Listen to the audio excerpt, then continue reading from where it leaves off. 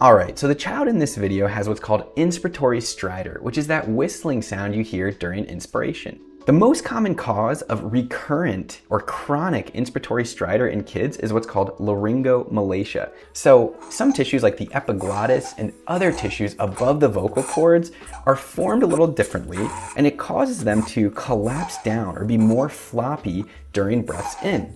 When they collapse down, there's less space for air to move, and that results in this whistling sound. It occurs in about 4 in 10,000 infants, and it presents in the newborn period, but usually gets worse around 4 to 8 months of age.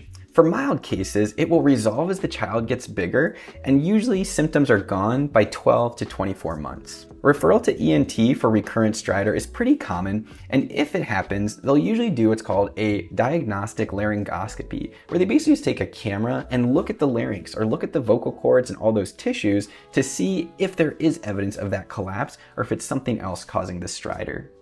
Most children do well and this self-resolves, but 10 to 20% will require surgery, which is called a supraglottoplasty, where they sort of trim the tissues down in the upper airway to make more space for the air to move.